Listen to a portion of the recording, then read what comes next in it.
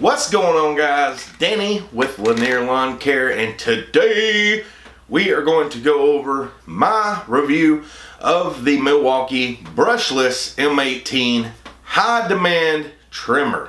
So first I'd like to say thank you to Milwaukee for sending me this out. It's really been a great opportunity to uh, get to review your product and some of the great features that you've provided on it. So let's get started in this video.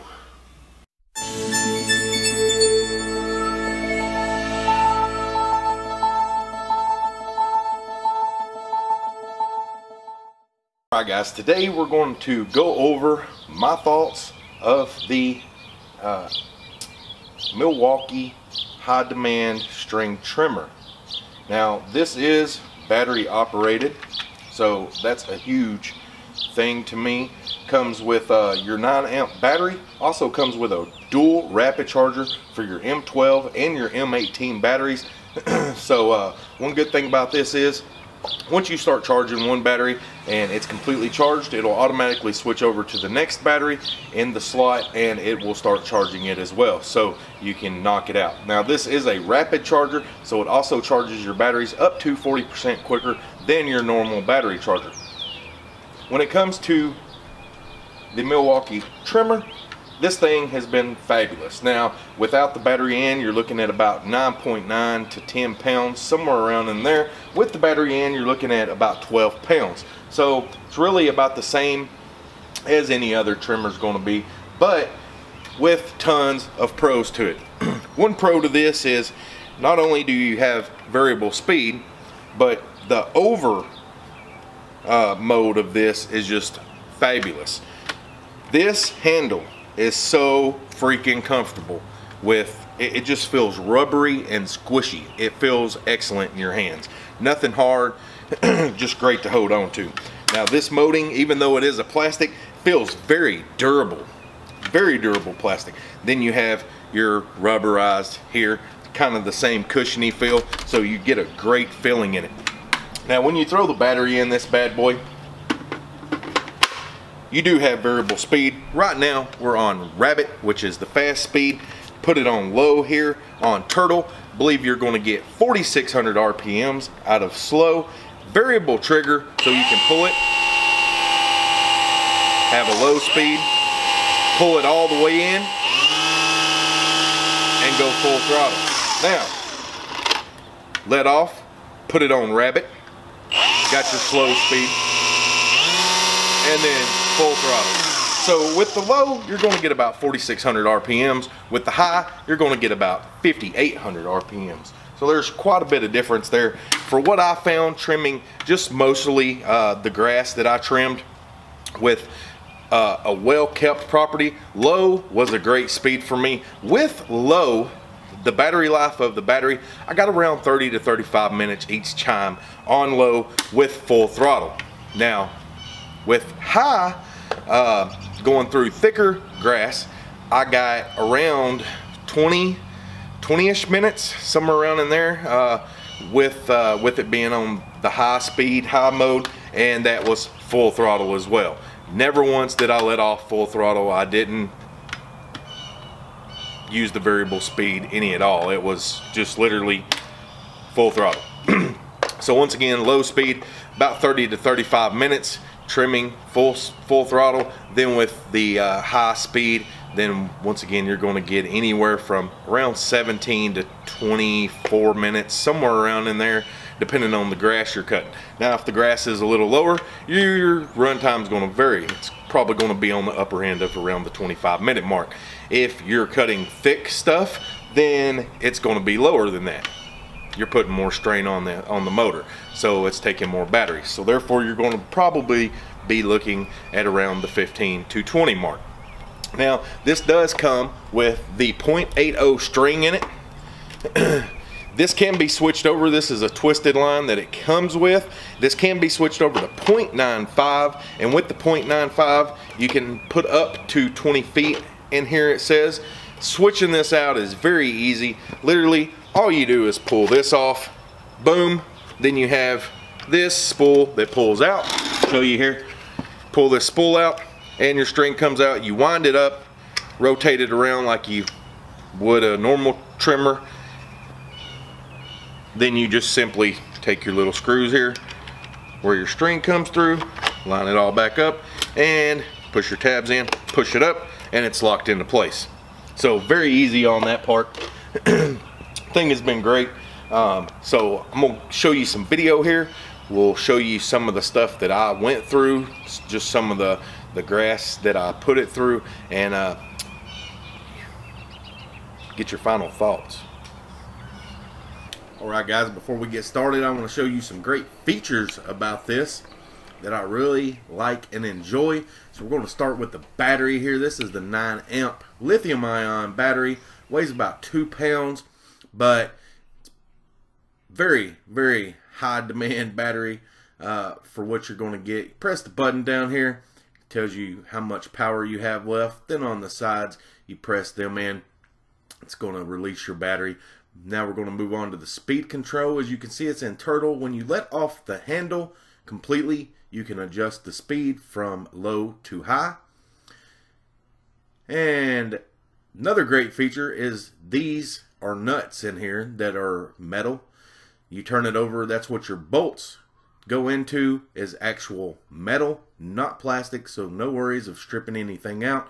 Same with the bottom on the guard here. Your four bolts are going to screw into metal. So once again, no worries of stripping anything out. Very durable. If you want to switch your cutting swath here from 14 to 16 inches, you literally remove these two bolts. Right now it's on 16. Turn that little cutting guard around and it goes to 14. Then the very bottom here, Milwaukee, hooray for them, got a freaking metal bump uh, head. So the part that you bump against the ground is metal, not going to wear out as fast as plastic is going to for great durability.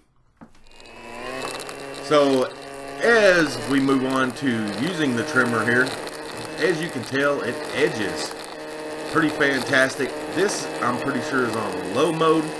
I didn't use high mode very much, uh, except to see a couple times how it was going to do when it came to time wise of how much run time you were going to get. Seems to work very well on edging. No issues there whatsoever. Alright guys, we're going to show you some trimming now.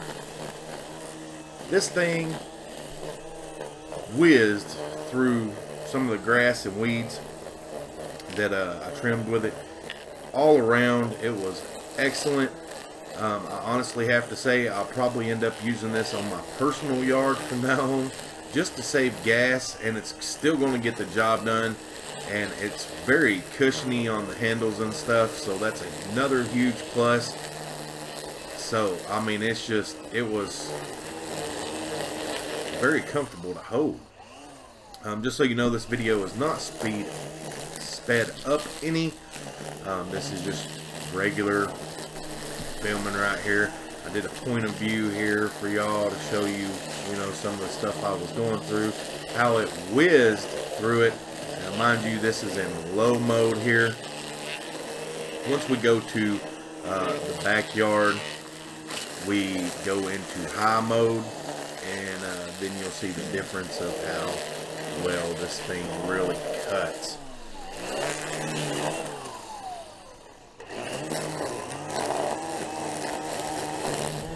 Get some string out here, just tap it on the ground like you would a normal trimmer.